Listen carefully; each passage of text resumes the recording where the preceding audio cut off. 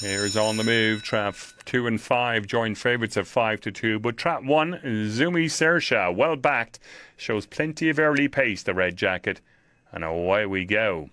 Five leads up here and shows the pace from one, two, six, three, and four around the first bend, two bends, and it's five now. Leads them out. Bubbly Spark, who has a two and a half length lead now from one and two, followed by three, four, and six. But it's the dog by Barefoot Bold.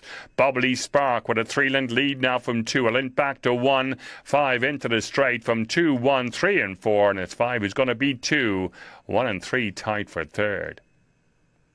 Bubbly Spark a recent winner here at Romford in an A1 shows them a clean pair of heels here today.